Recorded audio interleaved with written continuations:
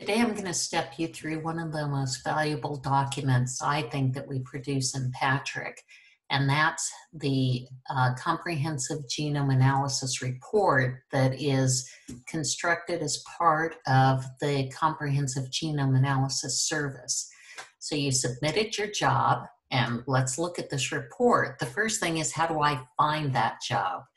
Well, you could go here and click on the jobs monitor and that would take you to your jobs page. Or you could go up into the workspaces, click on the down arrow and click on my jobs. This will overwrite the page and it'll show all the jobs you've ever submitted in PATRIC. It's it's brutal with its results because it'll show you the jobs that failed as well as the ones that are succeeding and it'll also give you a status update on jobs that are currently running. So I want to look at the results for a particular job. So I highlight the row and you notice that this populates this vertical green bar to the right with possible downstream functions. I want to click the view icon. Now in subsequent videos, I'll talk about each of these documents that is part of this job and we'll also go into detail on the annotation job and the assembly job. But today, we want to see my favorite, which is the full genome report, HTML. So I highlight that, I can download it or I can view it. So let's click the view. And it once again overwrites the page at top. At the top, it shows me a breadcrumb of where I am. You never get lost in PATRIC gives you another opportunity to download the job. This gives me a summary of the entire job. It tells me that I submitted the jobs to the service and notice this here, which will give you links at the bottom of this document to the references. When we constructed this, we want to make it as easy for you to publish. So sometimes the way I envision these things is giving you information that you can put directly into a materials and methods section or something like that in PATRIC. So this gives you the reference that you can use. And please, if you, it's a free service. If you use it, please cite us. It helps us continue to keep providing you with these services. So here's, uh, you submitted it to PATRIC, and this is the most valuable part this genome appears to be of good quality. We found that a lot of our users weren't um, able to interpret it when they would submit an assembly and then an annotation and then do a tree and maybe they would do some analysis with a proteome uh, comparison tool or the protein family sorter.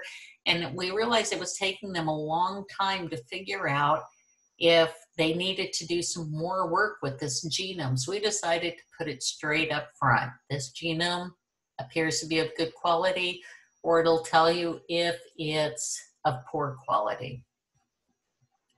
It gives you this, I submitted um, reads for the assembly. It tells me that Canu, um, well, this, this is what I called the job, was assembled using Canu and that will take me to the reference for that. So that's very easy for you when you're writing your publication. For contigs, and this is the size. So these are some of the statistics that you can use when you are submitting um, information or creating a, a publication for a particular genome. It gives you information about the annotation. Now, if you provided uh, a, a genus and species name, it'll give you the breadcrumb for the taxonomic tree for this organism. And then it goes into the detail about the annotated genes, how many coding sequences there were, how many repeat regions they found, how many tRNAs, how many rRNAs, all the information there. And then we break it down further to show you how many hypothetical proteins, how many proteins that had functional assignments, which is basically any name that isn't really hypothetical. Proteins with EC numbers, which is enzyme commission numbers, which indicates that they have a specific activity. Um, proteins with GO assignments for gene ontology, proteins that we could assign to pathways, and also the proteins that could be mapped to the genus specifics families, which are the PLfams, or the cross genus families, which are the PGfams. Now, this is a circular view of all the annotations in the genome, and each of these rings has a bit of different information. I'm going to shrink, tighten this up so you can see it better. Outside this dark blue ring, this is an indication of how many contigs, and we know that there are four in this genome. So there's one big one, and there are two, three small ones. Um, having looked at the this organism previously, I know that this is a staph aureus genome that had was done with PacBio sequencing. So it's got one chromosome and three plasmids. So you're seeing the three plasmids here. The next circle in are the genes on the forward strand. The next one are the genes on the reverse strand. And this is, you don't have to remember, it's showing you the order of these things right here. The third one are the RNA genes, which include the ribosomal RNA genes and the tRNA genes. These are hits to virulence factors. Any genome annotated in PATRIC is blasted against specific databases for virulence factors, for antimicrobial resistance genes, for trans, transposons, for drug targets and human homologs. In this view, we only show you the virulence factors here and the um, antimicrobial resistance genes here. And then the last two ones are GC content and GC skew. Why would you want to see that? Because sometimes they're an indication of horizontal trap transfer between um, different organisms. When you see uh, a change, a significant, a significant change in the GC content, like is indicated here and here, that's an indication of a potential area that might have come in by horizontal transfer. Now you notice that some of these genes are colored. What do the colors mean?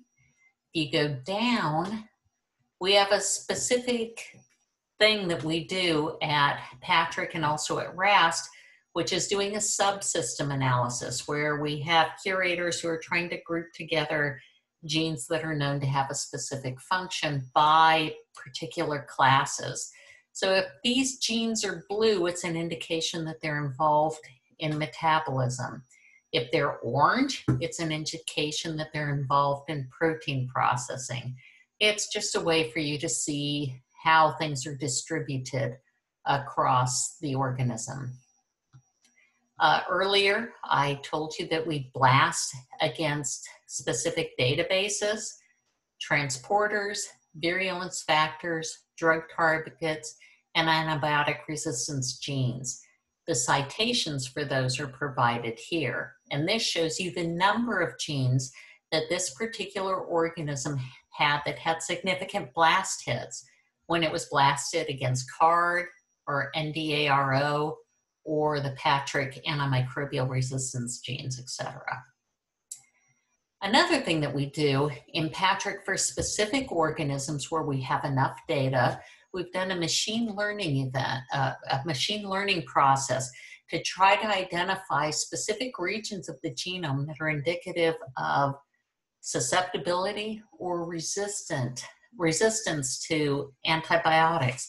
Staphylococcus aureus is one of those genomes that we have a lot of data on and that we were able to run this machine learning process on. And so when this when any genome of that genus and species is annotated in PATRIC, we look at that data and try to see if it has any of those classifiers that we identified with that. And you can see that um, we that this particular genome it has indications of being resistant to penicillin and susceptible to a number of antibiotics. So that's a pretty good service for um, a pretty useful service for some organisms that we have in PATRIC. as antimicrobial resistance is very important to NIAID and it's becoming of global importance, um, we have a k-mer-based antimicrobial genes detection method that's that were that are blasted against them, and these are genes that were found in my particular genome that might be conferring resistant to specific antibiotics. And then the last thing we do is we go through when you submit a genome to PATRIC, it looks for across the uh, reference and NIAID reference and representative genomes to see if it can find some close relatives to give you an indication of where that genome is in the great scheme of bacterial life. So we have uh, we go in and identify the closest reference and representative genomes by MASH MinHash, and here's the citation for it.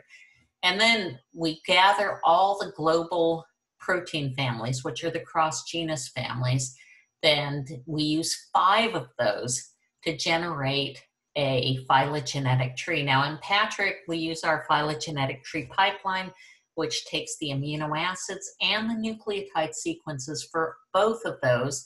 It um, concatenates them to together in an alignment, um, and then this alignment is used to build the tree. And here's the tree here.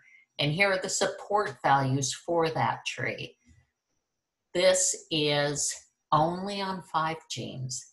You should try to use more than that, if you're going to publish on this genome and publish a phylogenetic tree, you should do a more robust analysis of the phylogeny rather than just five genes. I look at every paper that cites PATRIC and I tweet about it and Facebook about it, so you should you should cite us because I try to publicize your your data. And when I see someone using these particular trees because I know what they look like, and I'm like, oh no, please do a more robust analysis.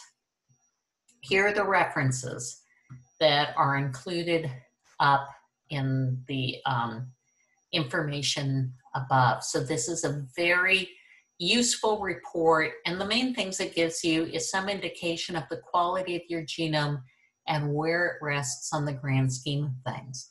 Now in the subsequent videos, we'll look more at the different files that come with it, come with the comprehensive genome analysis job, and then we'll explore what that genome looks like when it's in PATRIC.